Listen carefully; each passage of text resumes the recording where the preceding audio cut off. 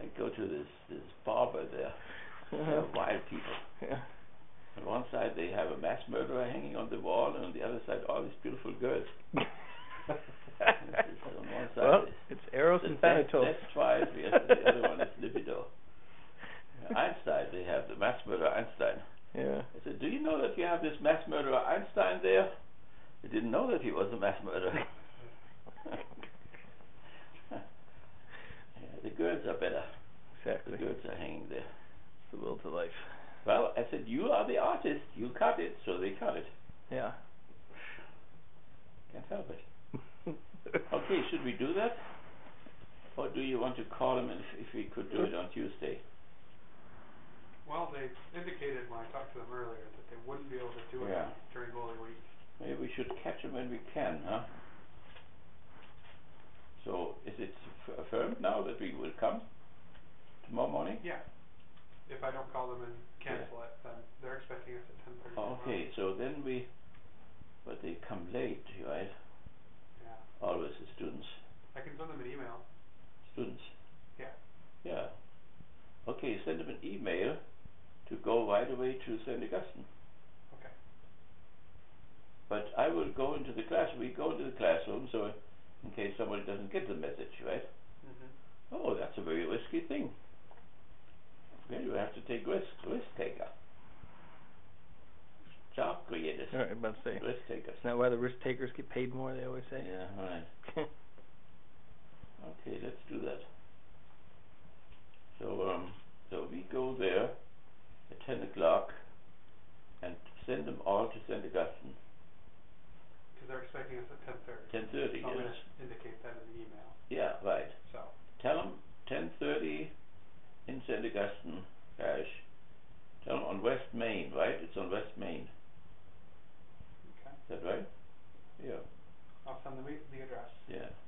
Tell them there is a little white St. Augustine who should really be black. Mm-hmm. If somebody wants to volunteer to climb up and paint it black, you would good do, do a good deed.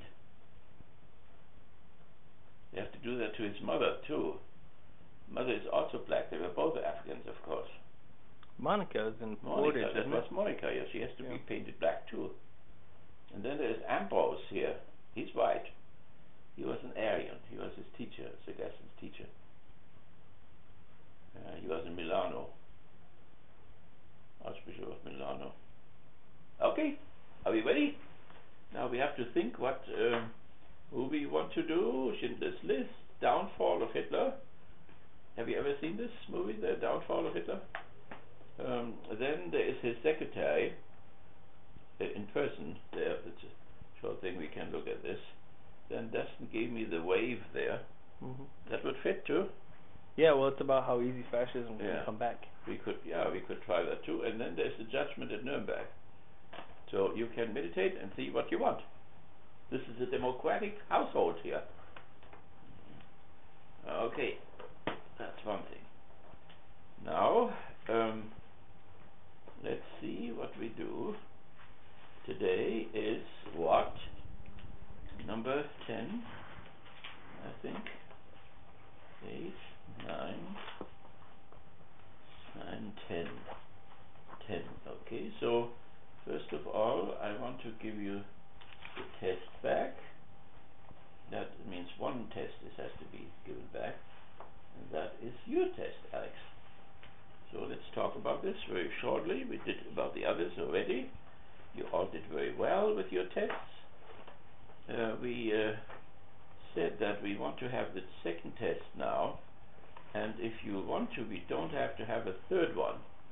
So you don't have to have it today yet. So, uh, Alex, you need one, right? Haven't gotten it yet. So we have another week. We can make it also two weeks. If you want to have a third one, you think it's necessary, then we can have a third one. Otherwise, we leave it with two, right? And uh, use today and the next time prepare it a little bit more. okay, this is Pathology of Reason and Therapy. Examine Hegel's Phenomenology of Spirit. Alexander Feather, great scholar. Okay, Alex tried and dared to go into this phenomenology of spirit. you told us the last time that you would like to know a little bit more about the background, right? And where they come from and so on. That's a very good idea. So, but this is one thing where they come from, the phenomenology of spirit. So, a phenomenology of mind, um, which Hegel wrote in Jena when Napoleon went through the city, and he thought that was the great world historical guy. Beethoven was uh, was also enthusiastic about Napoleon, but regretted it later. But um, Hegel regretted it too somehow because the French troops pushed him out of the city. He had to flee to Würzburg, where he worked for a newspaper, and so the, he had the phenomenology in his pocket when he fled. Uh, almost the French got it; it would never have come out.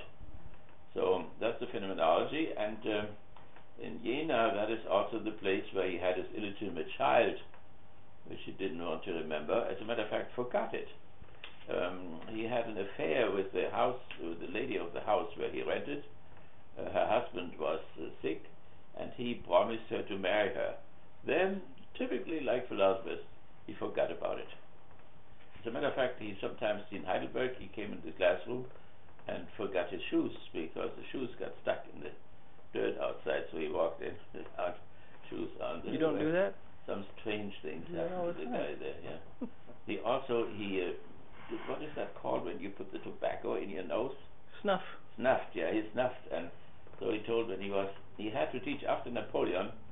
Uh, he had no job, so he was the, the, pres- the director of a gymnasium, humanistic gymnasium, and there he taught Latin and also philosophy and so on, and then he snuffed all the time. He went in the corner that they wouldn't see it, and then he taught them not to snuff.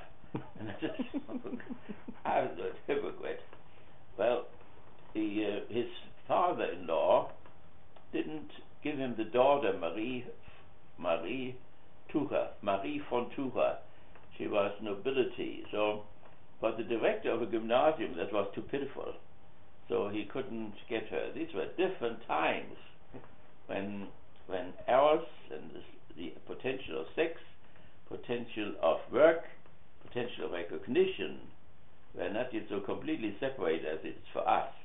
So in order to get a girl, you had to go to the parents, and you had to have recognition. You had to be somebody, if he was somebody, um, and then you had to have a job. You had to feed her.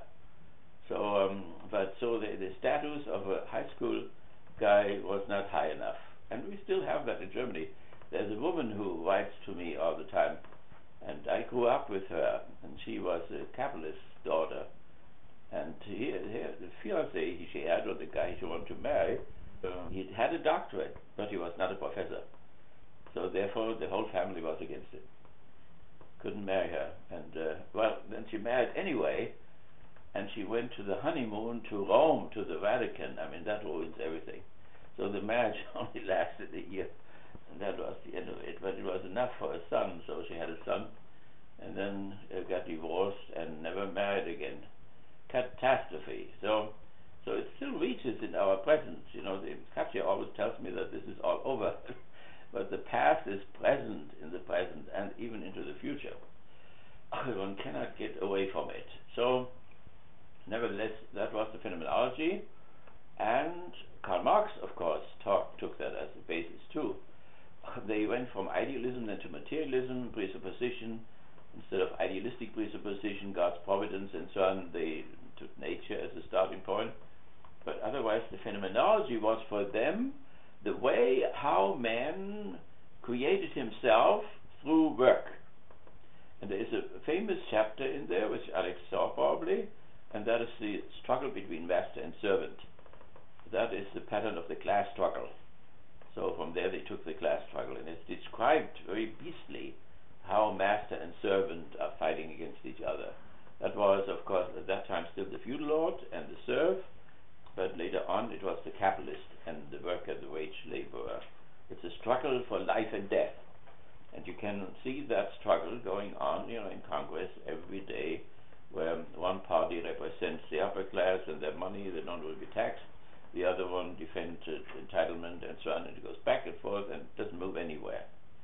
So, uh, because, yeah, because we don't have a labor party, so we don't have anybody who represents the 200 million. And we have only two bourgeois parties. They really both are for the class system, as we said, but one of them want to be a little more lenient, give them something, the 200 million, uh, you know, minimum wage and so on, in order to keep them happy, while the others are much more rigorous. And Dustin is writing a book on that guy there, um, and and this whole background of selfishness is good, and, you know, to dominate and exploit and, and so on and so on. That this is all a very good thing. By the way, there was a horrible example which was even too much for the Republicans. Um, there was a guy who wanted to uh, apologize to the black people for that they had been enslaved. And somebody got up in the Republican Party in some kind of congressional meeting, and he said, "Apologize. What should he apologize for? He gave them room and board." and you translate this now into the capitalistic system, it would mean, why should the capitalists apologize to the workers? They gave them a job. They gave them a job. See.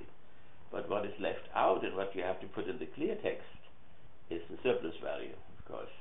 They got a job only because they could be exploited.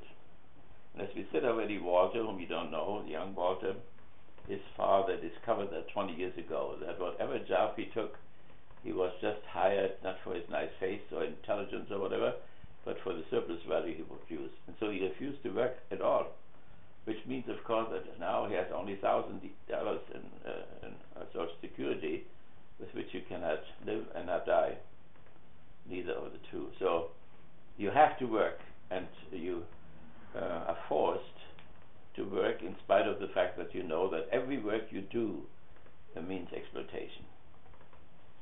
And uh, this is, you know, otherwise you starve to death. And you have no health insurance, so you die. Because health insurance they connect it to, and this whole liberalism, you know, which comes from Calvinism, um, which has a very pessimistic anthropology. People are lazy and so on. So therefore, you have to. They don't want to work really. In order to work, you connect the health insurance to the job. No job, no health insurance, die. They even justify that with the Bible, because St. Paul said, "Who does not work should not eat. If you don't eat, you die." Of course, his master Jesus, whom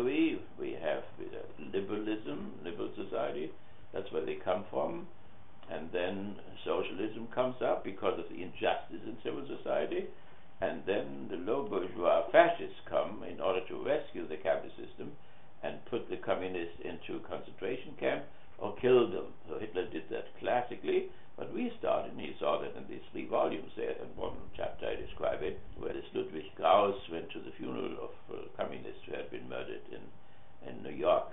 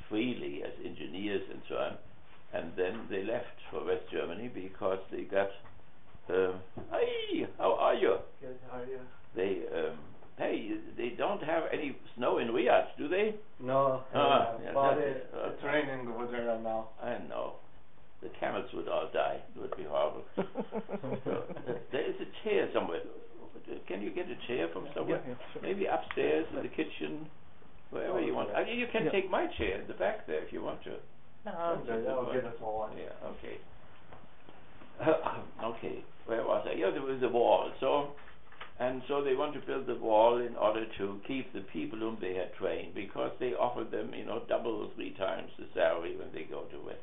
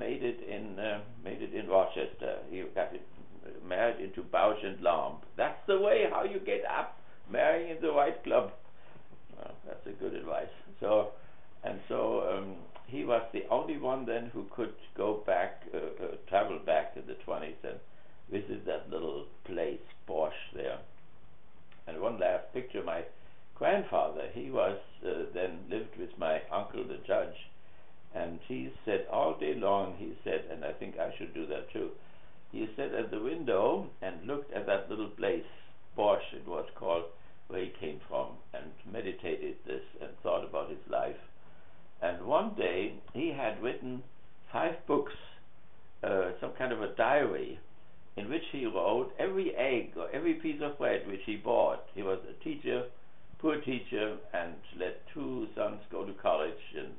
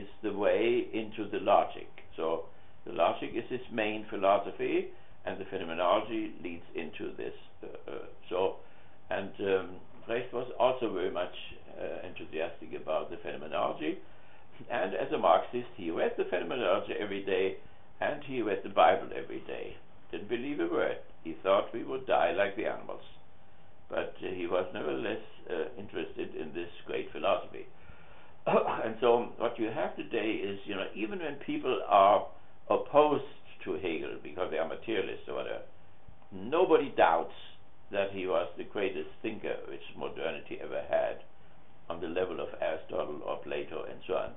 And also the fate, our, our own, we want to have a discourse in which we uh, reflect on ourselves, who we are. Unfortunately, we live in a culture which had the chance, you know, and uh, it was the um, see the, what, what, what this writer there, the, um, you know, just you know this uh, the fellow who wrote uh, the Leaves of Grass, Leaves of Grass. Hmm? No, Steinbeck. No, no, not Steinbeck. The Leaves of Grass. He lived around 1880, 90 or whatever. Famous guy. He um, put the whole Hegel into into poetry, and um, he uh, said, you know, the, great nation needs a great philosopher. Hegel is that great philosopher, and they followed him up to the First World War, up to the Great Depression, when they then turned against dialectical thinking and went up to the formalistic type of a logic, which you have on campus when you have to take a course on critical thinking. Then you get formalistic logic, so it's not the dialectical logic. It's before the dialectical logic, uh, before Kant and before Hegel. So that is very unfortunate, and we discussed that already enough. So, and so he read that uh, up to the end, and he really was buried beside Hegel, uh, not beside Hegel, a little bit on the other side of the little path, and so he's buried there with his wife. Um, also, Hegel wanted to be buried beside, I don't know what they have with burying all the time, but he wanted to be buried beside Fichte, the philosopher from whom he learned a lot, and he was buried beside Fichte. The wives are in between, so. Uh, and the graves are taken care of. Whenever I went there, we went. Uh, my God, I went there, went every year That's almost. Hegel's grave right yeah, there, right? that's where it is. There, yeah, this one there. Walt Besides Whitman. The card. That is his gravestone. Yeah, you're right. That's we can take it down there. You can. It was Whit- it. Whitman that wrote. Oh, Whitman. Yeah, Whitman. That's right. Whitman. Remember him, Whitman.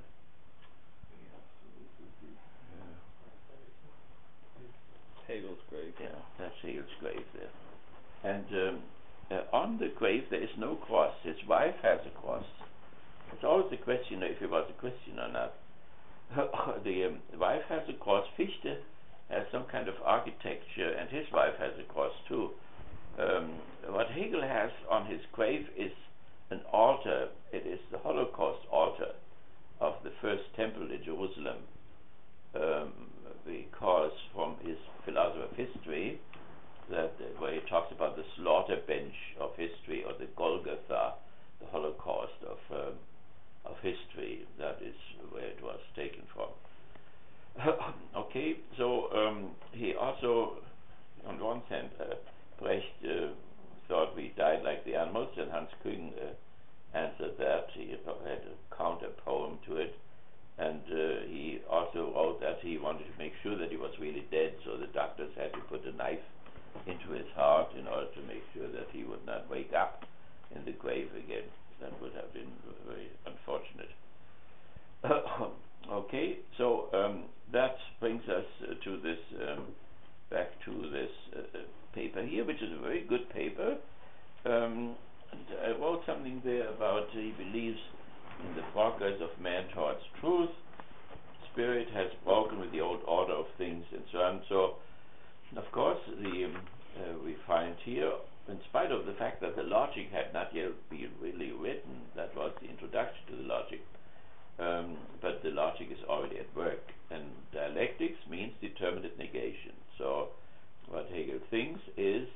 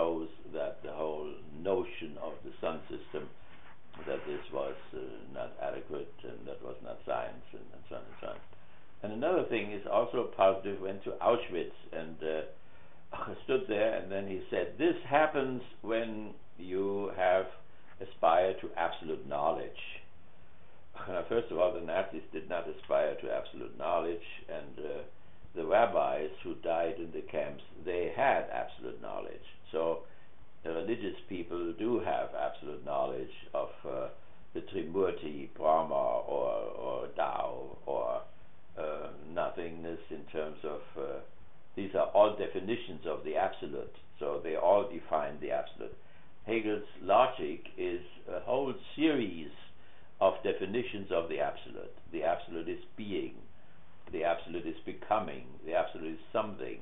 The absolute is the measure of all things. The absolute is the conclusion, and so on. So that means the whole logic is a theology. And the interesting thing is that then Lenin and so on, Lenin made out of it the ABC of a, of a revolution. It's not easy for a materialist uh, to transform an idealistic, and all great philosophy has been idealistic so far to transform that into materialism. So that's the reason why there is no materialistic logic. That means they should have superseded Hegel's idealistic logic with a materialistic one and would have started maybe not with being as Adorno thought or nothing, but with something. Something is one stage of the logic. So, but even that did not happen. Marcuse wanted to uh, write a book with all the others together about um, materialistic elements in the great idealistic philosophies, but also that did not happen. So, and that is not by accident. That 100 years or 200 years after Marx, there is still no materialistic logic there, uh, because maybe it cannot be done. But uh, it's, it's a, for me, it's a funny type of a thing that you know anti-theologians really uh, take a logic which is entirely a logic from every one step to the other. So it is up to the idea, which is the God Himself, and the uh, stages are definitions in which it becomes more and more concrete in the logic until finally the idea contains being and contains uh, nothingness and contains something. All these steps are contained in the idea finally, and uh, it all goes back to Anselm of Canterbury's proof of the uh, ontological proof of God's existence, where we have this highest idea. The highest idea must contain being and everything else, otherwise, it would not be the highest idea, therefore, God exists. So, um, Hegel is the last one who followed this uh, uh Anselm of Canterbury uh, theory of the ontological proof of God and takes it as the foundation of all the other proofs again is that already before Kant, the prejudice came up in the third estate that God cannot be known. And that is what everybody thinks today, too. So people are all agnostics in our campus. And they are not only agnostics about the absolute, but also about the uh, psyche. So that Skinner would say it's a black box and so on, which means they're agnostic about man as well. And these two things hang together. And um, Nietzsche made fun of Kant because Kant uh, proved that the ontological proof is not possible. Why, typically for a bourgeois, he said, when you have the idea of ten dollars, it doesn't mean that you really have them. So that means the notion and being fall apart. And of course, Anselm said that for all finite things that is true, because no finite thing is with necessity. All finite things are contingent. There's only one notion which is with necessity, and that is the notion of the of the God. So, um, and uh, that argument which Kant uh, had, it was already done by a little monk at the time, the year thousand, at the time of uh, Anselm in, in Canterbury, who argued that way already, and so Kant took took that up again. When I discussed with Kant, uh, uh, with uh, my friend housekeeper here all the time, then uh, she thinks, you know, that somehow the world starts in the 20th or 21st century or whatever.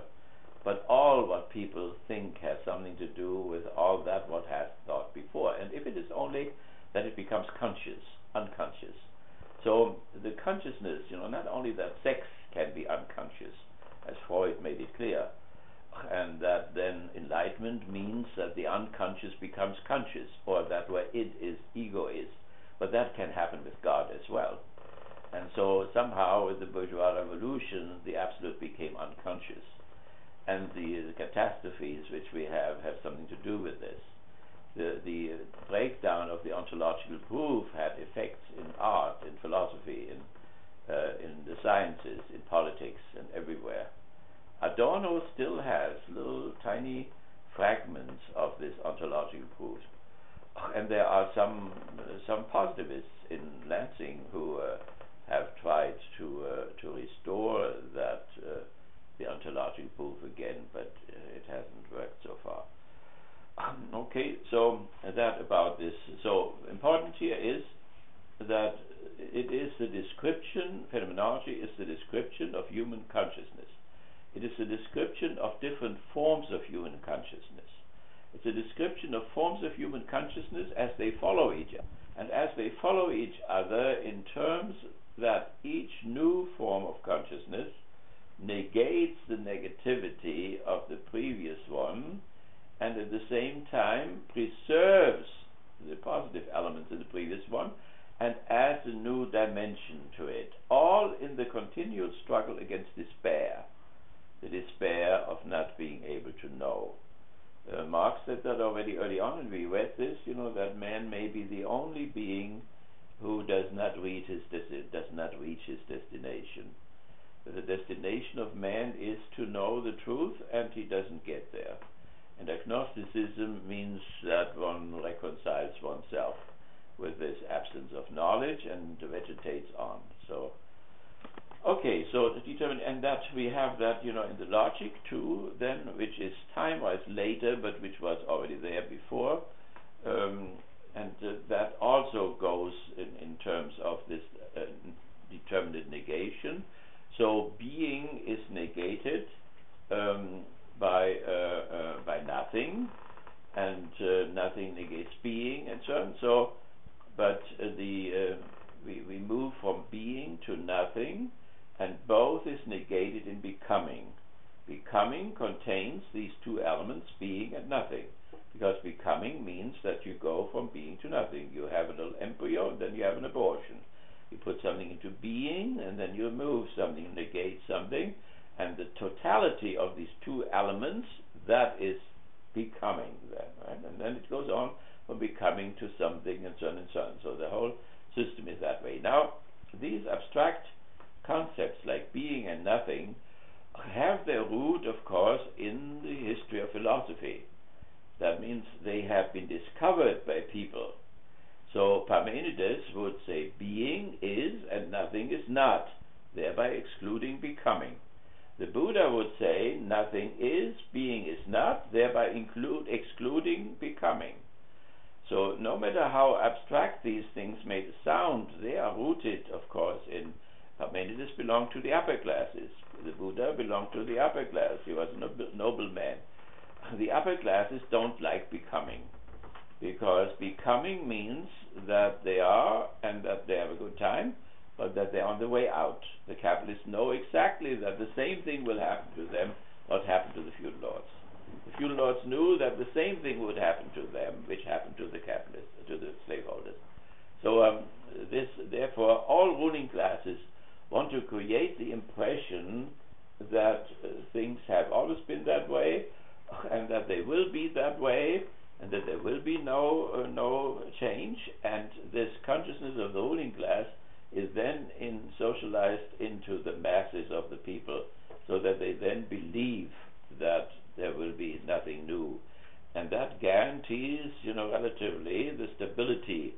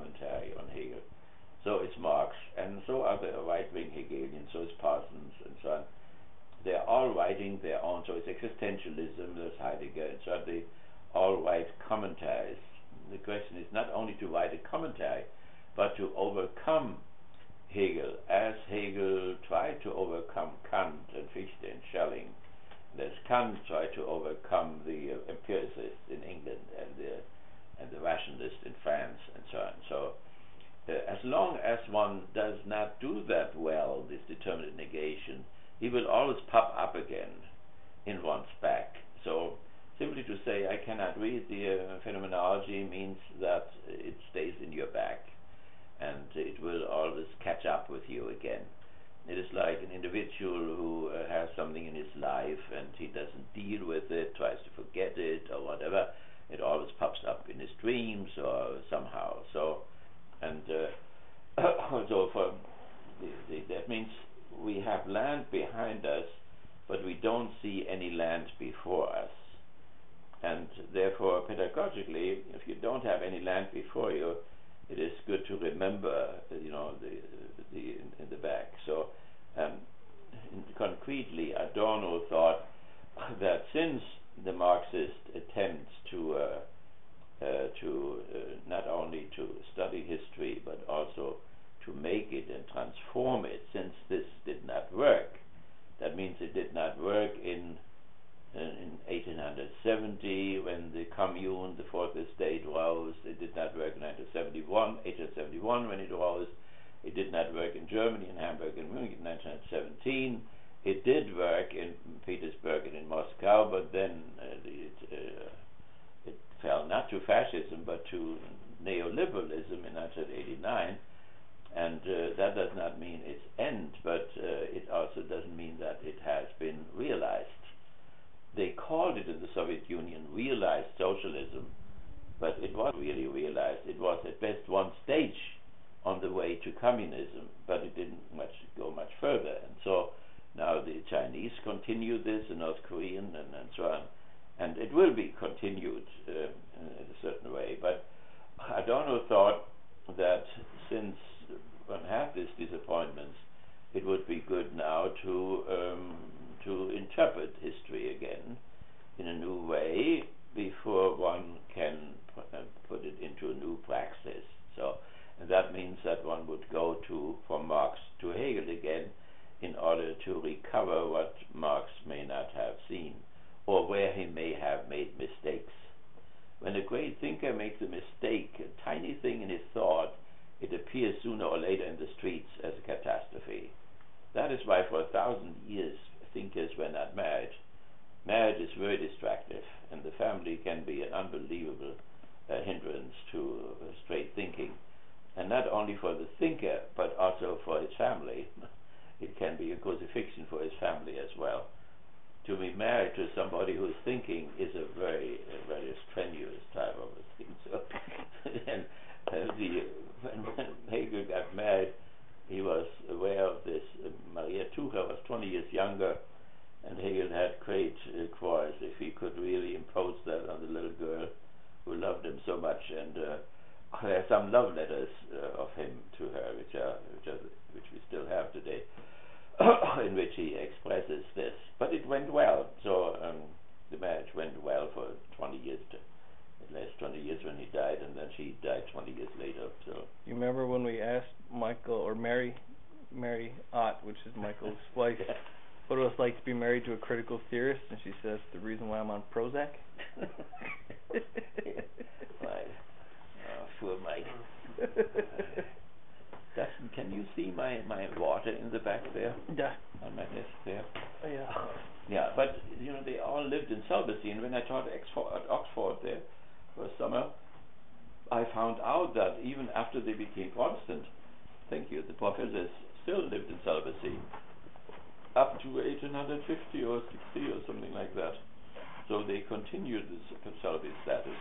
You know, that doesn't mean that everybody who lives in celibacy is a great thinker so, but, but it was the, the idea that that it was painful for the family, and it was family. It was painful for the family, but it was also a hindrance for thinking, and every mistake which he would make in thinking, it would show sooner or later. And the mistakes, I mean, which Marx made, and Horkheimer points them out, by the way, and others too, um, then have certain consequences. Um, wherever Marx became a victim of the dialectics of enlightenment, that then shows. And therefore, it would be good to go to Hegel's uh, teacher, that means to Kant and to Hegel, and rethink again uh, what went wrong and why the neoliberals, in spite of their superficiality and their stupidity, could nevertheless win that uh, uh, that 1989 uh, counter-revolution. Because that was quite an amazing thing, because they had tried in 1920, they went in, the capitalists, with 12 armies against Lenin, and they were beaten. And then Hitler went with 3 million men, and he was beaten. That then they were able to, without Gorbachev, they would not be able to, of course. Uh, he did his own mistakes, and Katya hates him uh, because, and many Russians do, for the unbelievable betrayal uh, that he delivered practically the uh, the Russians to the to the west. So they had fought, you know, three times practically, two times successfully, and had lost millions and millions, 27 million people against Hitler. And then comes the whole comes the Western ruling class again and penetrates again there. Um, this is catastrophic, you know, the whole thing, and it will not remain that way. So, um, but for the moment, it is a very sad story. Okay, so therefore it makes sense to um, to look again there, but uh, Hegel will not remain neither. So he must not be fetishized or something like that. So um, he has to be overcome, but that will need hard work to overcome him and uh, to go back behind uh, Marx and uh, rethink again Hegel's logic. That means also that one is able to overcome Hegel's logic and develop a new one. And what uh, Honneth, Honneth and Habermas do, that is this attempt. So they start with Hegel's struggle for recognition or his language and memory, and then try to overcome his system and go forward. That is an impetus. But have they done so? No, they haven't done so, right? But it's an attempt, and our discourse is part of this attempt. okay, um, I think that is about it. Thank you very much. Good work, Alex. All three of you, you have done wonderful work. Very good. Mm. Okay, we can celebrate this tomorrow. Alex and I will celebrate this today. The girl will not come, but um, uh, the, she has another appointment there. So what we will do tomorrow morning is we go to this church then, right? And after the church we can celebrate. Okay, very good. Thank you. Okay, that was one thing. Now we want to look at um, we want to go on with the review of the test, but before we do that, we want to have contemporary issues.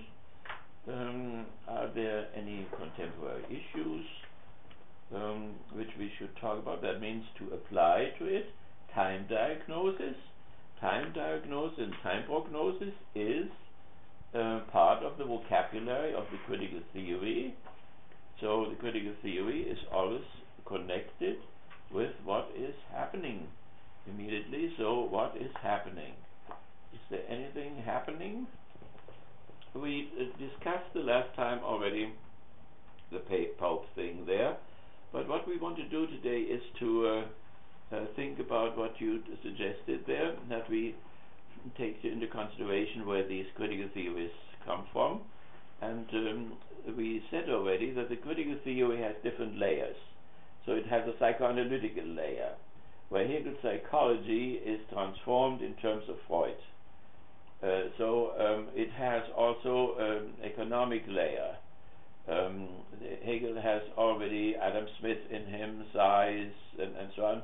All the uh, uh, political economists, uh, Hegel had that, and Marx just continues that work. So the critical theory has also has this economic dimension, psychological dimension, the sociological dimension, which is most important for us here, and then an anthropological, cultural anthropological thing, namely the, the culture, the art, uh, literature, and, and music, and so on. And then also a theological type. They were theologically interested uh, and, uh, in their Judaism and Christianity and Buddhism and so on.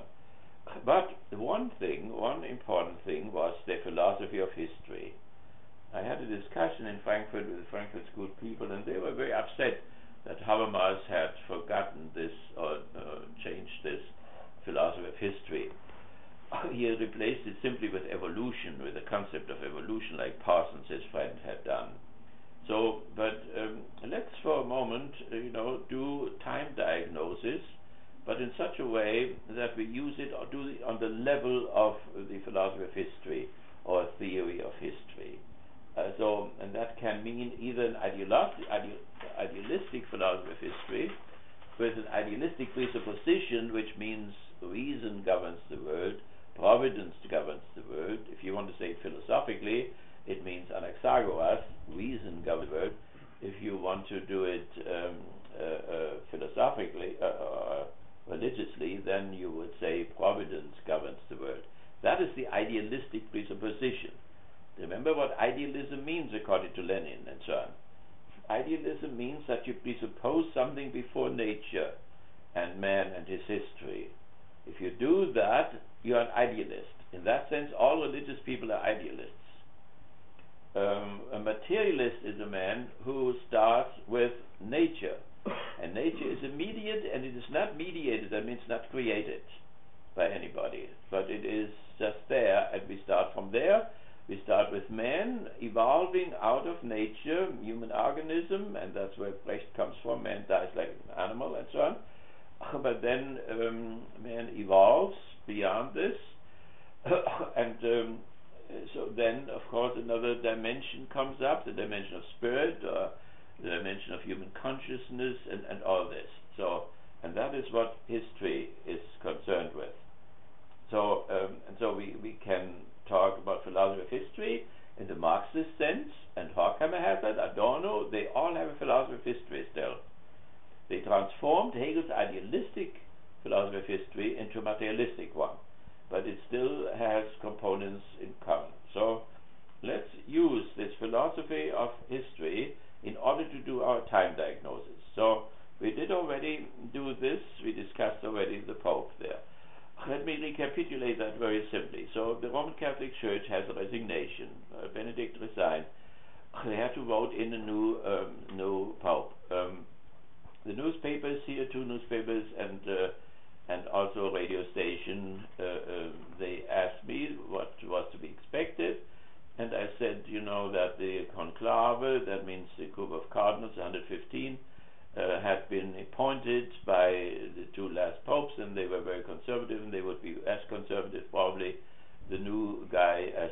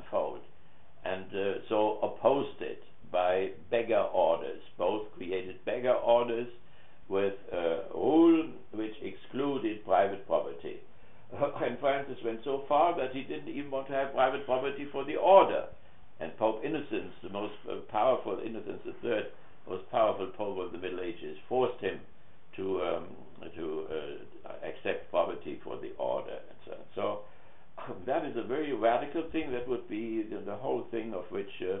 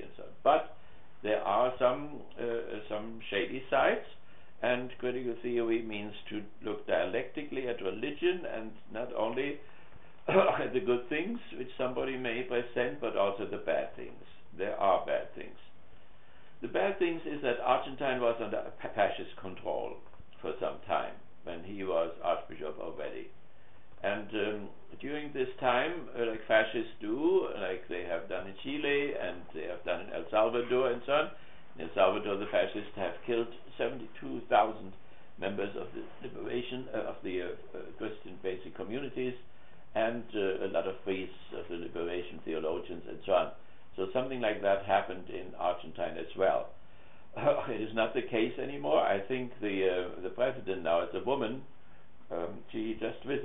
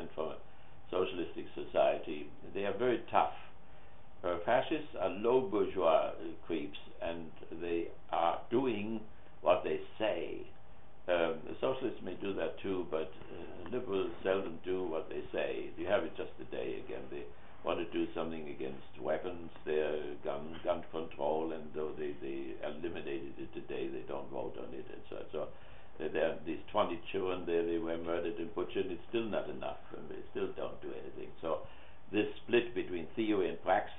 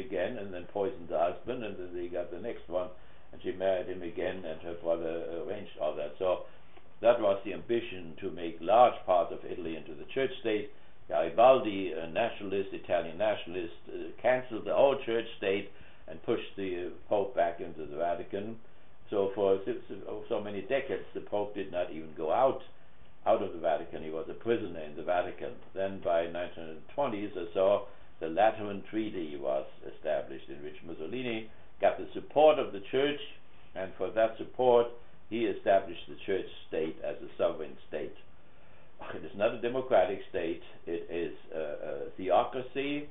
It is an absolute monarchy. It is an aristocracy and has only one moment of democracy, and that is that even a little guy from a railroad worker can make it up to the top. That is a democratic thing. But otherwise, it is as undemocratic as one can think. It is an authoritarian type of a church in the classical sense of the word. So Now, when we look at this, you know, in terms of the philosophy of history, be it of Hegel or Marx or so, then um, for Hegel, let's start out with him. Um, history uh, had three parts, like you know the dialectic of thinking. That means first was uh, the reason governs the world, reason governs history. Uh, and, and uh, providence governs history. Uh, B, that's A. Then B, if reason or providence governs history, then it has a goal. And then under this goal, the part of this goal is BA or B1. That would mean man's freedom nature which was only a potential, but which in history has slowly to be developed. C, which has to be developed through agents of change, which could be great men, or for Marx then, a whole class of people, and that uh, change has to take place in a certain material, and that material is the social system. Uh, what is changed by the agent of change is the personality, the family, the civil society, the state, the historical process, the culture, the uh, the the, uh, the the art, the religion, and, and the, the philosophy and the science. So everything is changed by these agents of change. And then comes A, B, and now comes C, is the cause of history. And the cause of history for Hegel was one was free, like in Africa, the king of the tribes or whatever, and the magician, one was free, and the others were all his property. Uh, then in Asia, uh, uh, still one is free, in China, the emperor, and so on, in Persia. And then with Greece, the new principle comes in a few are free. 4,000 free in Athens, 100,000 slaves. Kennedy thought that this was the great ideal of a democracy. I hope not. That would mean, you know, that one, it would mean 4,000 free guys, and, and, then the others are all uh, slaves. So, so, but then few are slaveholders first, the few are feudal lords for a thousand years, and now the few are capitalists. That means not we are not a free country. The free country, what, what they do here all the time is they take this Hegelian, and that is right wing Hegelianism, they take this Hegelian idea of the freedom of all, not the freedom of the one, not the few, but the freedom of all, and transform that, which comes from Christianity mainly, but from all three Abrahamic religions, that the freedom of all is made into an ideology which then legitimates the freedom of the few. That is the dirty trick. That is the pseudon proton. That's the first lie. That's the lie on which all the propaganda is done again and again. Free country, free country, etc. On what free? Is it the freedom of the one? Is it the freedom of the few or the freedom of the all? It is the freedom of the few. The freedom of all has not happened. It has not happened here, and it has not happened in the Soviet Union, nor has it happened anywhere else. So that is the future which is supposed to come. For Hegel, that future was situated in the Americas or in the Slavic world.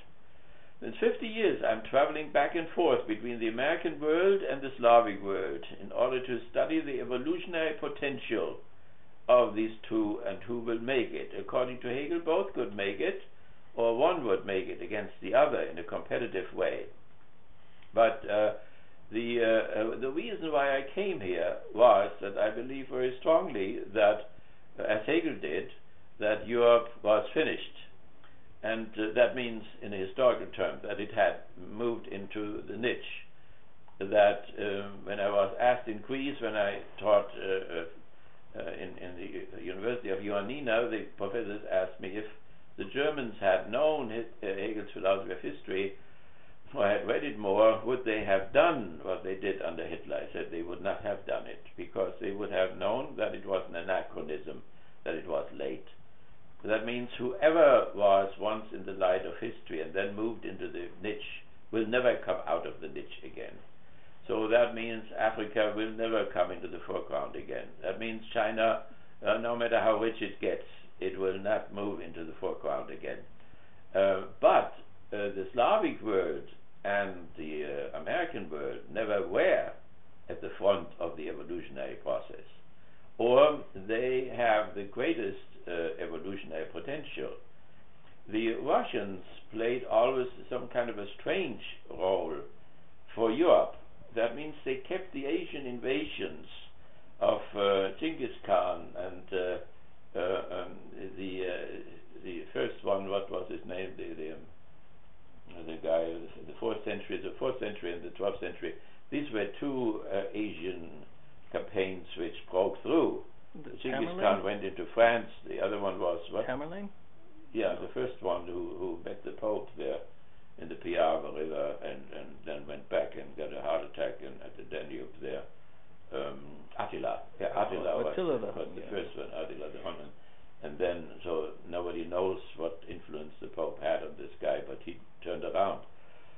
he did not cross the river, so and went back to the Danube and then celebrated his I don't know how many weddings and got a heart attack. He was overstrained, the poor guy. so, but that was the function of the Russians.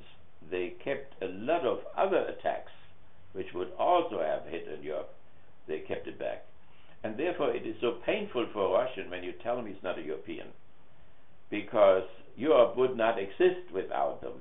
This little peninsula which hangs there on Asia could never have made it if you had not all these forces west of the Ural who uh, resisted these breakthroughs there or stopped them or they came only halfway or whatever. So uh, that uh, and therefore it did never have a history on its own.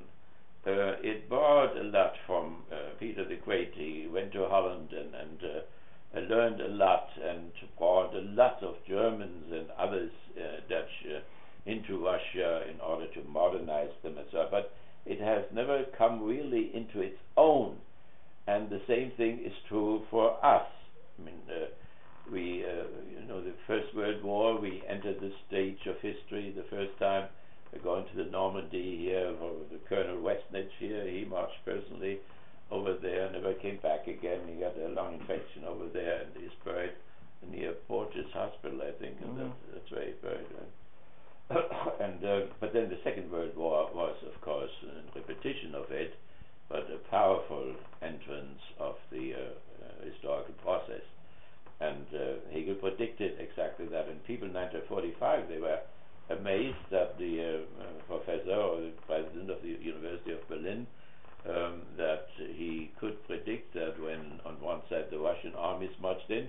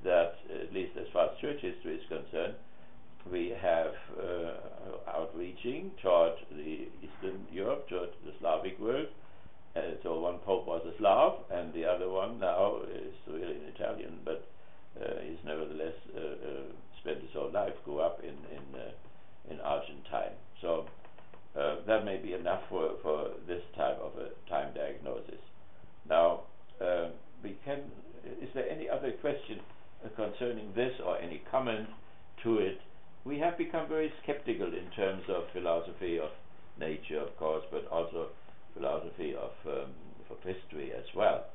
But I think the Frankfurt people are right against Habermas that maybe one should not uh, abandon it prematurely and should see if something of this philosophy of history can be uh, can be rescued. Okay, now uh, if you don't have anything, then then we can look at the Cyprus thing there that has seems not to have anything to do with religion, and that is fine. But when we look at it, it has something to do with religion anyway. Not my fault. Okay, what is happening in Cyprus? Cyprus crisis. I have some European Germans here who say it a little bit clearer. What is happening there? What happened in Cyprus? Isn't it the case that Cyprus is asking for money from the EU? Yeah. And um, uh, one of the conditions that seems to be right that have been put on it is that they uh, up the amount or some kind of fee or tax or something on bank accounts, savings accounts, which of course has angered the Russians, so the- considering yeah. that's where they put their money. Right, that's a whole story right. So, I mean, the in Brussels, the Brussels uh, want to bail them out. They would give them ten billion dollars, but they would have to pay something too, and so they wanted to take that money which they need, ten percent from the bank accounts, and they wanted to take it from the smaller bank accounts, and they don't have that what we have here that your accounts are protected. Let's say up to hundred thousand dollars. Uh, many banks have that, so you whatever you have, whatever happens there, you keep the hundred thousand dollars. But above it, that will go. So, but the Brussels demanded from Cyprus to um, to pay. Uh, that means to liquidate these bank accounts, and the banks are closed now already. They will be closed next Tuesday. Uh, this means people cannot go into the banks, people cannot pay anybody when they are dependent on the banks, and so on. So the whole thing stands still. But the parliament in Nicosia has rejected the Brussels thing uh, because it's too furious. Uh, they thought maybe that they could make it in a progressive way. That means the richer you are, the more you have to pay, and the poorer you are, the less you have to pay. And so, if you have not more than 100,000 or whatever, you have not to pay anything or whatever. But all that was rejected by the parliament. So that was yesterday, and now tremendous panic has struck. You know who will bail them out, and uh, so Russia came in now. Here, our friend there, um, the, uh, the, the fellow Putin there took the opportunity. The reason for that is that they were oligarchs. They are oligarchs now in uh, in Russia, like we have oligarchs. They rule the whole thing here, so the capitalists. And uh, Putin has distanced himself from them. The previous not they embraced him more, but he has put some of them in prison. But he is not willing to put more into prison. As a matter of fact, he doesn't want to make too many enemies, so he is willing to help Cyprus in order to rescue all these accounts. And they're not only the oligarchs, but they're also criminals. So there is uh, money laundering going on, and although there are continually billions flowing into Cyprus and out again, and uh, and Russia is involved in that, uh, and Russia wants to have something for that. It has at the moment only one harbor, and that is in Syria, uh, where it can anchor its fleet. They accept the Black Sea, but that is in the Ukrainian territory now. So it would like to have a military harbor in Cyprus, and of course the Europeans don't like that at all. And then that he, you know, is superior to the European Union, European Union cannot do it, and he can do it. And uh, uh, Russia is very do the Slavic world is doing very well um, because of the gas lines and the oil lines. And they have tremendous income, so their debt is much lower than that of the European Union or ours. So, so it's minimal really. So they are doing very well, and that they can offer this now, and the European Union cannot do it or has been rejected. That is uh, a thing of, of, uh, of uh, you know great concern. Now, the funny thing is the church is involved anyway. So um, there is the Orthodox Church. So it is the second paradigm of Christianity, right? The Orthodox Church so there's an Orthodox Archbishop of Cyprus who is very much connected to the Patriarch of Moscow. and the Archbishop has asked, you know, the Patriarch in Moscow to make connection with Putin and motivate him to help Cyprus. But the Church also has uh, given up, uh, has uh, presented its whole property on Cyprus in order to bail out uh, Cyprus, the banks, to break the banks out. They are closed and so that they can open again. They want to give all the property of the monasteries and the dioceses and so on. They want to give it all in order to bail things out. So there is religion returning somewhere. And of course, the Germans say, well, why doesn't the Vatican do that? they, want, they, want, the Vatican to take over all the German debts or whatever, at least the debts, uh, the the, um, the Cyprus disaster played over from Greece because they are close connections, but there's now the same thing happening in Italy and in Spain and in Portugal. So none of these governments is able to protect itself from state bankruptcy, whatever that will mean. Uh, the banks are closed forever. So that is the issue. Now, when we look at this, you know, time diagnosis, and we could go further and further into this, including Russia. There we see Russia again, right? So we see that Europe is not really able to do something about this, so there comes the Slavic world comes into it. At that moment, we are not active there, at least not openly. It seems that our um, the German trade seems to be very low too, and nothing is mentioned of us at all. So, but there is something between Europe having moved into the niche and suddenly the Slavic world entering the picture and maybe solving the problem. We will see what happens. So, if we take that philosophy of history, we see that it shows us some way, some direction there into which things are going, and maybe even according to that ought to go. Because A, providence governs the world, or reason governs the world. That means not only a purpose, it means also a plan, and it means also steps in the plan. So history makes sense uh, it has a goal, and the great problem is, of course, the means.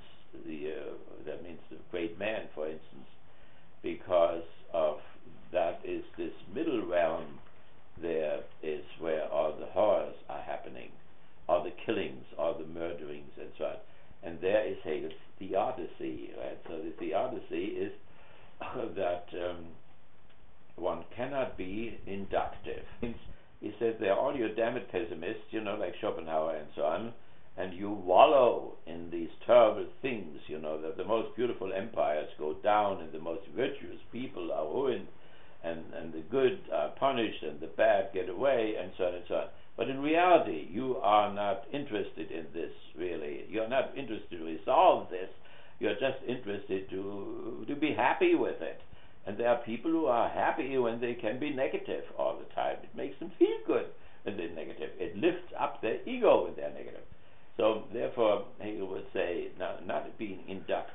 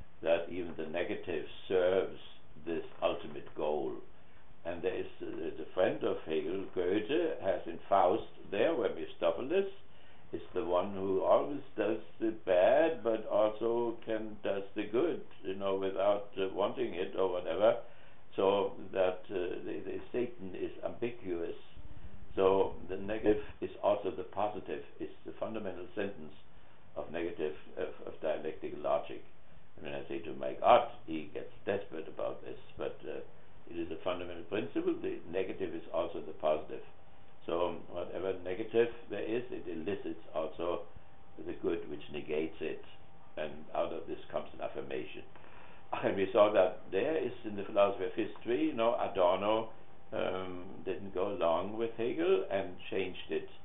the whole dialectic tradition, long before Hegel, said negation of the negation is affirmation. And then they had this experience that fascism was negated, but it didn't lead to something affirmative. It leads to, led to restoration. That means that civil society out of which fascism had come in the same pla first place had to be restored again. Therefore, one had to expect that fascism would come again.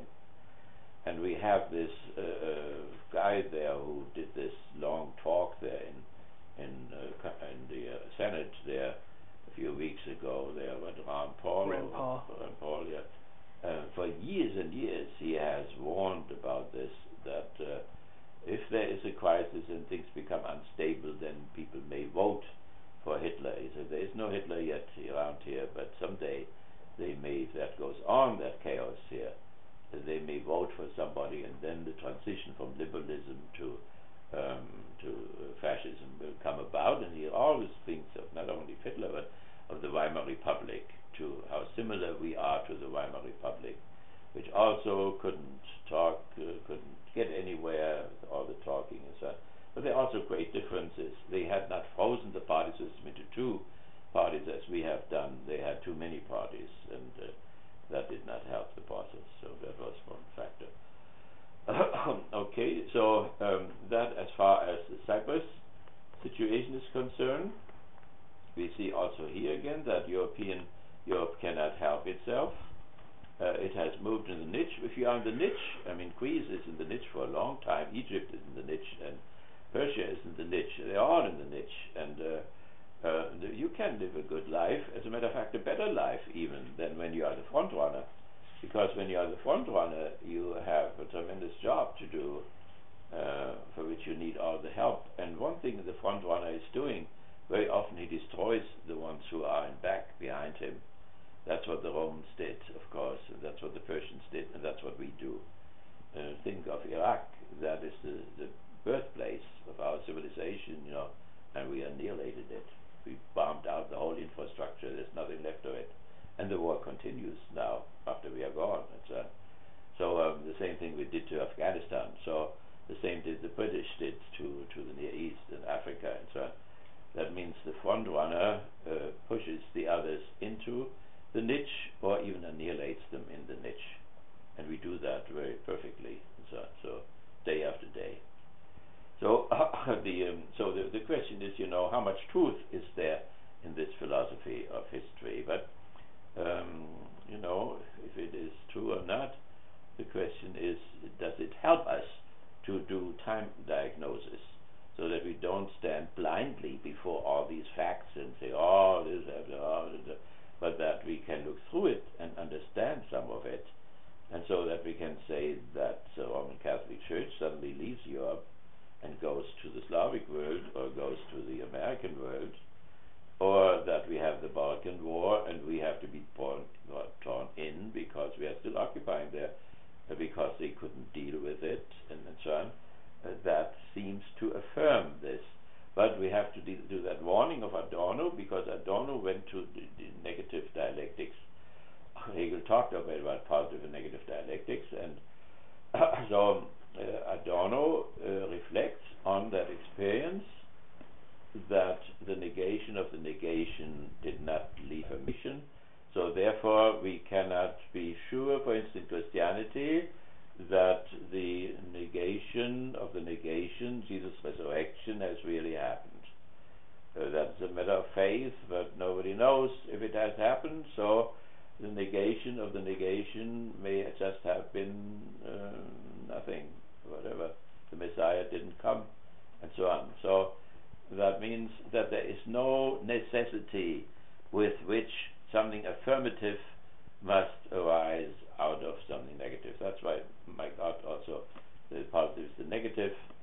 If somebody uh, the negative is the positive. If somebody is really in the negative and uh, and suffers a lot and so on, that sounds like scorn. It sounds like uh, you know abhorrent or atrocious. So then somebody says, "Don't worry, the negative is also the and so on.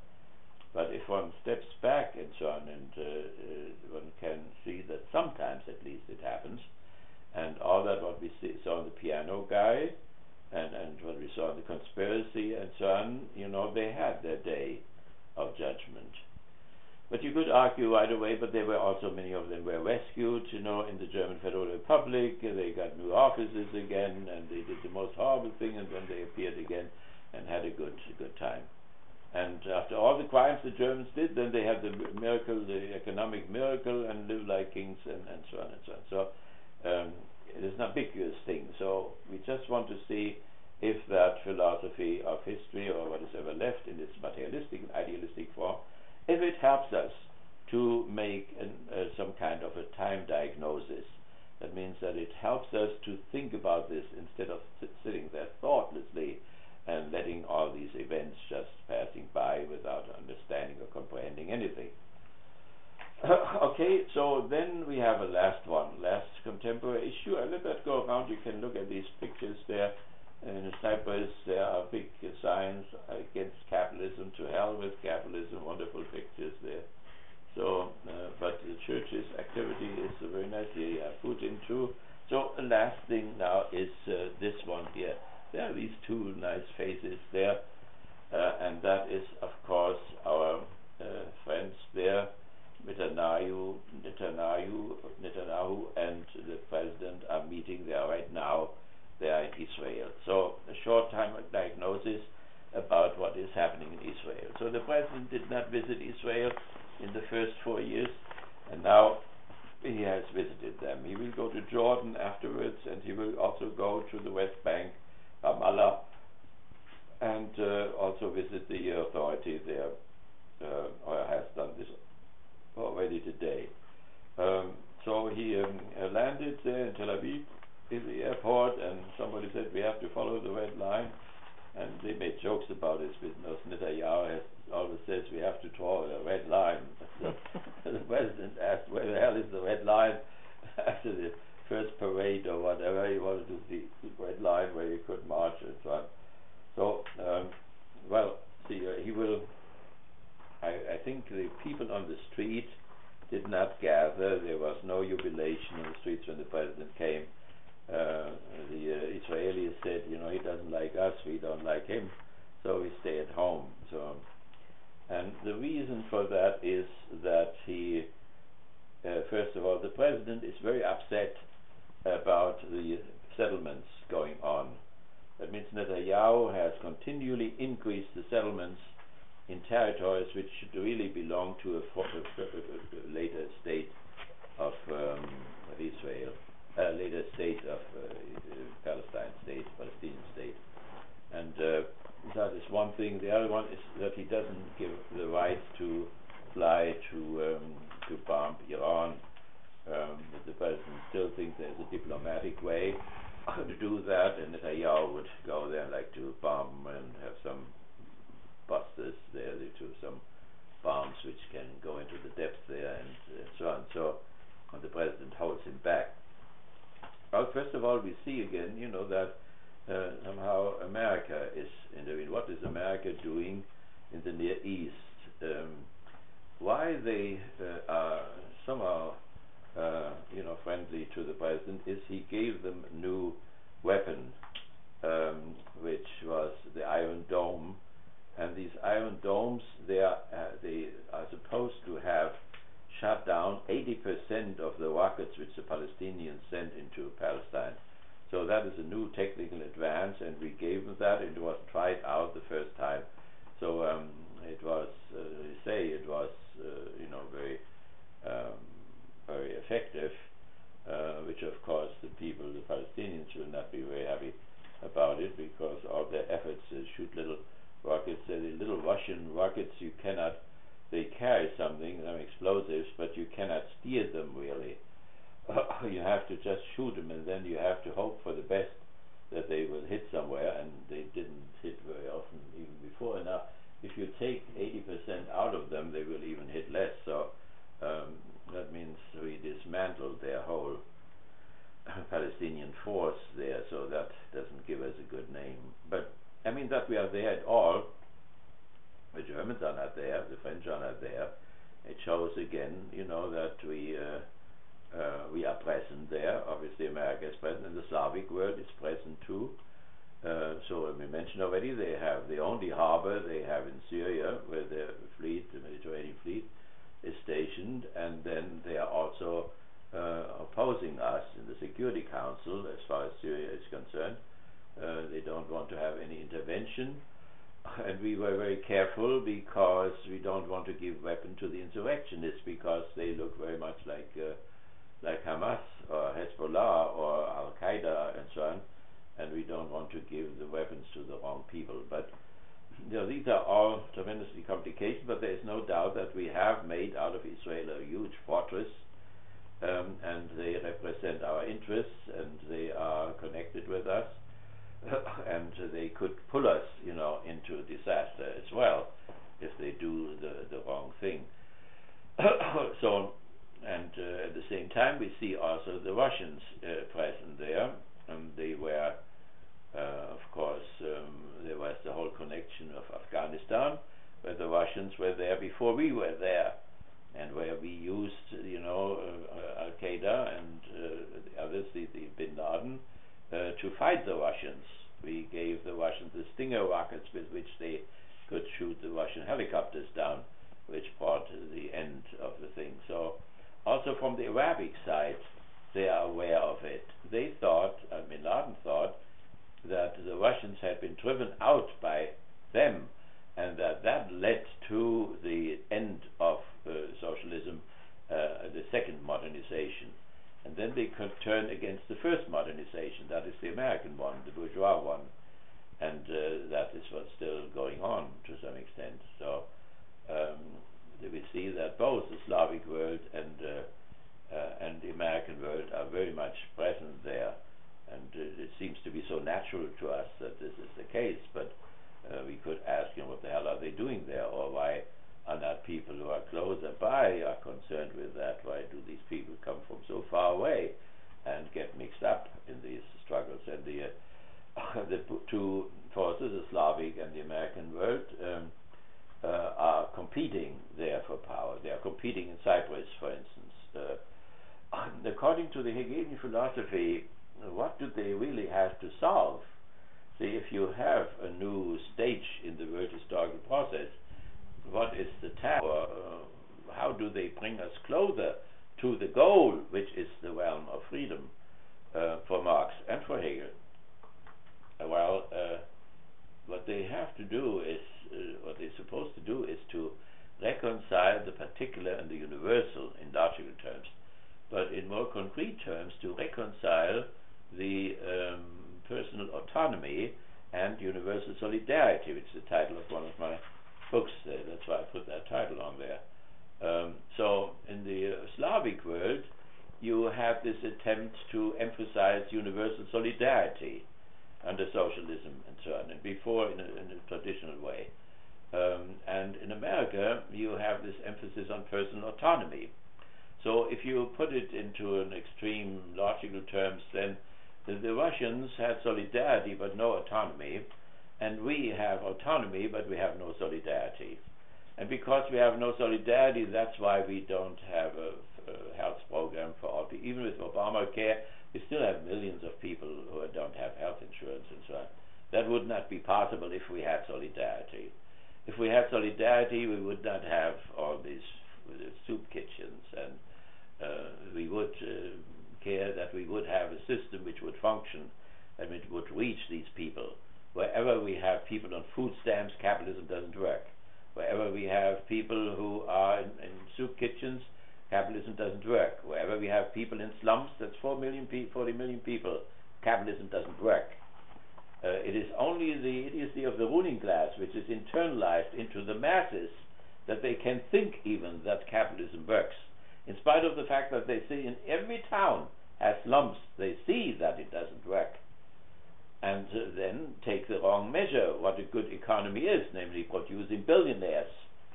A good economy would be, if you think civil society, need system, administration of justice, police and professional organizations, the basis is the need system.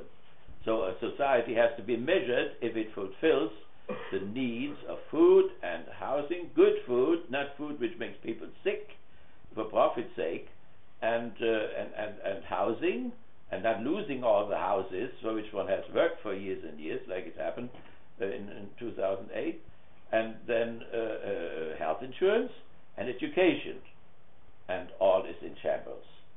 So that it's always the question, you know, when we say uh, this or that is not good, then this is a judgment, right? When I say it's dark outside, this is not a judgment. That's a protocol sentence.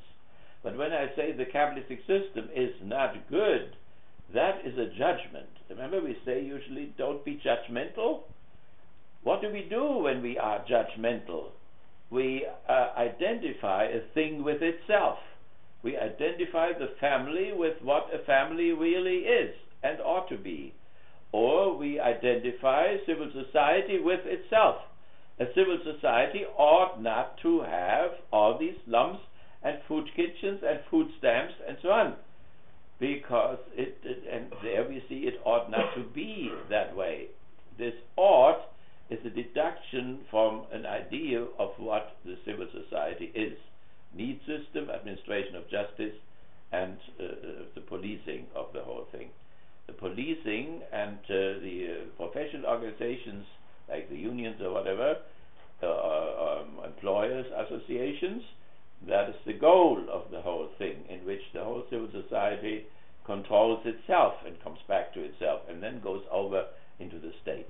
And the state and civil society are very different, as civil society and the family are very different. and by the way, in Parsonian terms, there is room for further differentiation.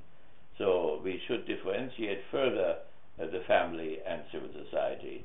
We should not burden family with what the civil society should do, because the civil society took the productive part out of the family but left the caring part.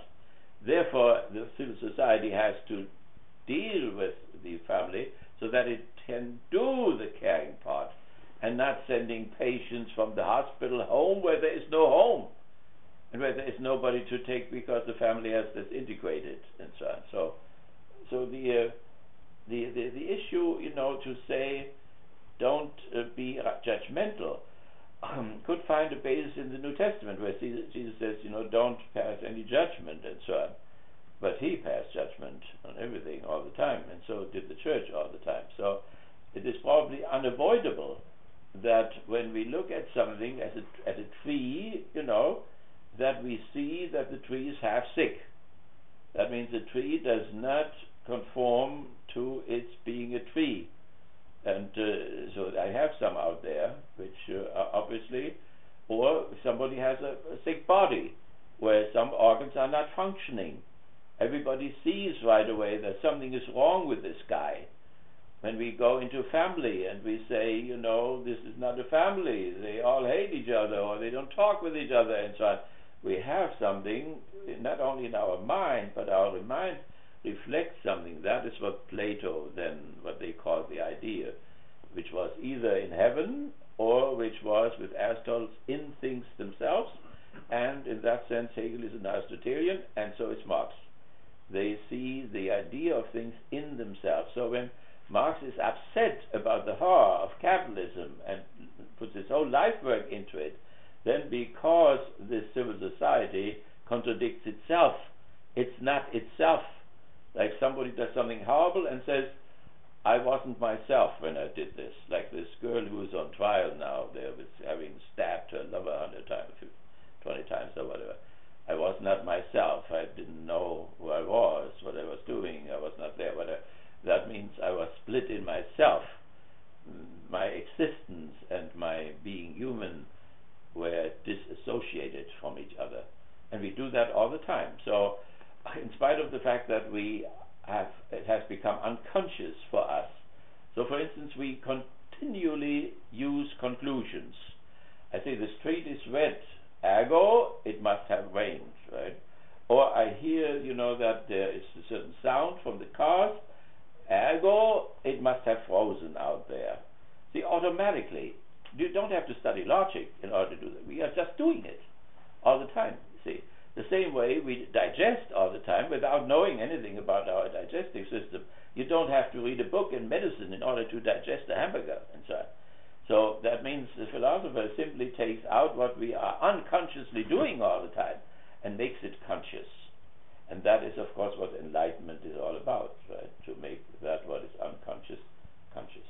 We we got about 20 minutes. Do you want to? Yeah. Okay. Very good. So um, you have still a week or two if you want to to go on with that test there, right? And you have it in the meantime too. And um, let's say we can maybe do without the third one, right? Uh, if you want to have a deep longing to have a third one, then we can still do it at the end, right? We are democratic group. So, okay. So, which movie would you like to have?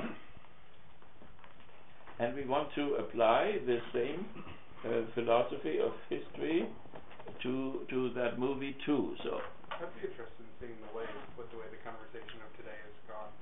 the wave, Yeah, okay, I think that's what it's called, right? Dustin, the wave, that is you. You are the wave specialist. Das ist alles in Deutsch. It's in Deutsch. Ja, ja, it's in Deutsch. Does it have subtitles? Yeah. Oh, good. That's just good. And we can read the subtitles. Otherwise, we all have to speak German. We have to pray to the Holy Spirit that He will overshadow us and Glossolalia, glossolalia. Yeah. Pentecost. yeah, Pentecost.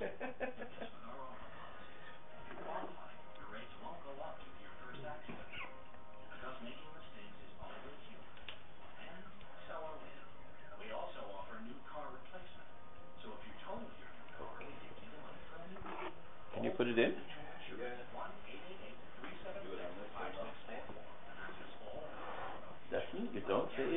convincing way. I'm sure you can get it. Uh, Aya, Aya. Uh, how about that? You don't get more convincing in German than say Aya. Uh, yeah, yeah. You have seen it already? Alex? No? No. How can you long for something which you don't know? Well, the way you explained that. Religious people do it all the time. Your brief explanation of what it was about. Yeah. yeah. All right.